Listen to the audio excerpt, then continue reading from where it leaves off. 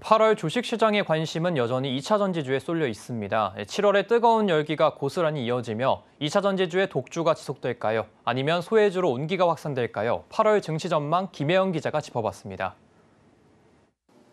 8월 첫 거래일 코스피가 장중 2660선을 돌파하며 올해 최고점을 경신했습니다. 증권가는 8월 증시가 박스권 장세 속 종목 구도가 지속될 것으로 전망하고 있습니다.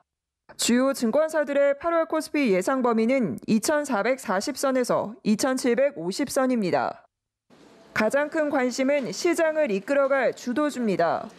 7월 시장을 뜨겁게 달군 2차 전지주의 독주가 이어질지 여부입니다. 증권가는 2차 전지주의 단기 속도 조절은 불가피하지만 주도주의 위상은 공고히 할 것이란 전망입니다. 결국 8월 증시 역시 소외주로의 온기 확산보다는 주도주 압축 과정이 진행될 것으로 분석하고 있습니다.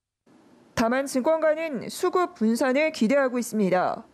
현재 외국인들은 2차 전지에 대한 매도세를, 개인은 매수세를 이어가고 있습니다. 2차 전지주를 떠난 외국인이 눈독을 들인 업종은 반도체주입니다. 증권가 역시 반도체에 대한 관심도를 높이고 있습니다. 삼성전자와 SK하이닉스의 이익 증가 예상치에 비해 주가 상승폭이 낮다는 겁니다.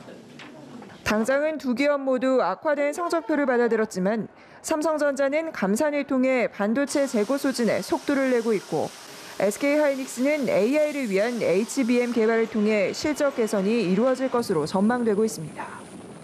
이와 함께 미국의 긴축 사이클 종료에 따른 기대감에 빅테크주도 움직이고 있습니다. 네이버와 카카오 등 그동안 소외됐던 정보기술 관련주들도 주가가 간만에 강세를 보였습니다.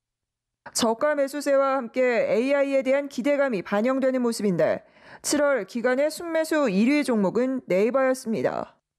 이 가운데 다울투자증권은 8월 네이버의 매수를 권고하며 목표가 30만 원을 제시했습니다. 서울경제TV 김혜영입니다.